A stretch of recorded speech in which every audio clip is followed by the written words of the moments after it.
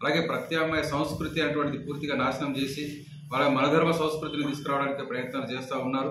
ఇటువంటి పరిస్థితుల్లో అటు కార్మికుల్లో ప్రజల్లో పెద్ద ఎత్తున చైతన్యం తీసుకురావడం కోసము ఈ మేడే ఉత్సవాన్ని జరపాలని చెప్పేసి అనుకుంటున్నాం.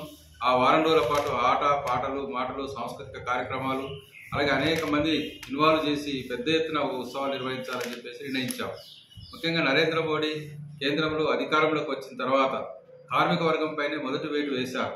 రెండవసారి అధికారంలోకి వచ్చిన వెంబడే నాలుగు లేబర్ కోడ్లను తీసుకొని వచ్చి కార్మికులకు సమ్మె హక్కు లేకుండా చేయడం కొరకు సంఘాలు పెట్టుకునే హక్కు లేకుండా చేయడం కోసం అలాగే ఎనిమిది గంటలకు బదులు పన్నెండు గంటల పనిదినం అమలు చేయడం కోసం సీరియస్గా ప్రయత్నం చేస్తూ ఉన్నారు.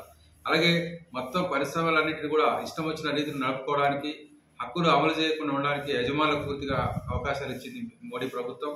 కాబట్టి మూడు వందల మంది దాకా ఉన్నటువంటి ఏ పరిశ్రమలైనా మూసుకోవడానికి కార్మికులు తొలగించుకోవడానికి తన ఇష్టరీతిన పరిపాలించుకోవడానికి వాళ్ళు ఉత్పత్తి చేసుకోవడానికి అవకాశం కల్పిస్తూ మోడీ చేసిన నిర్ణయం వల్ల ఈ దేశంలోని తొంభై ఐదు శాతం మంది కార్మికులు ఏ హక్కులు లేకుండా ఈరోజు పోయేటువంటి పరిస్థితి ఈరోజు మనం చూస్తూ ఉన్నాం.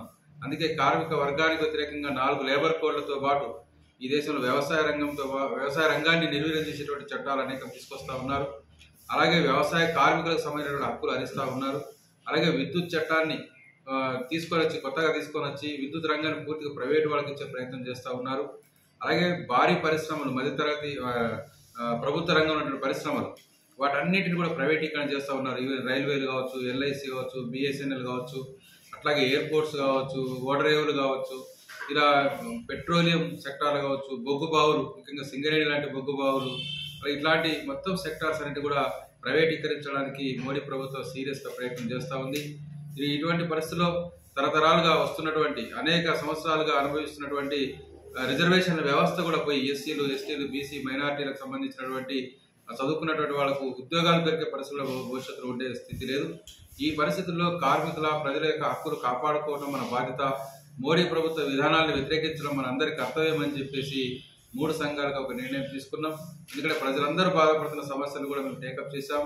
ఈరోజు ధరల సమస్య ఉంది పెట్రోల్ డీజిల్ ఛార్జీల సమస్య ఉంది గ్యాస్ రేట్ల సమస్య ఉంది నిత్యావసర సరుకుల రేట్ల సమస్య ఉంది. ఈరోజు ప్రజలందరికీ సంబంధించినటువంటి ఏ హక్కు లేకుండా ఈరోజు ఉన్నట్టు పరిస్థితి మనం చూస్తూ ఉన్నాం. అలాగే మోడీ నలధనం తెచ్చి పదిహేను లక్షలు ఇస్తానని ఇవ్వలేదు సంవత్సరానికి రెండు కోట్లు ఇస్తానని ఇవ్వలేదు. అలాగే అందరికీ ఉద్యోగాలు ఉపాధి కల్పిస్తా అని చెప్పేసి మోసం చేశాడు. ఈరోజు హిందూ ముస్లిం క్రిస్టియన్స్ పేరిట విభజన రాజకీయాలు చేస్తూ ఉన్నారు. అలాగే దళితులు ఆదివాసీలు గిరిజనులు మహిళలపైన పెద్ద ఎత్తున అత్యాచారాలు చేస్తూ ఉన్నారు.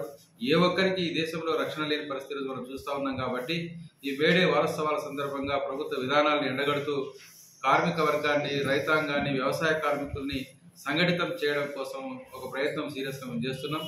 దీంట్లో ప్రతి ఒక్క కార్మికుడు ప్రతి వాళ్ళందరూ కూడా అన్ని సంఘాలు అందరు వ్యక్తులు శక్తులు పాల్గొని జయప్రదం చేయాలని చెప్పేసి సిఐటిగా మేము పిలుపునిస్తున్నాం.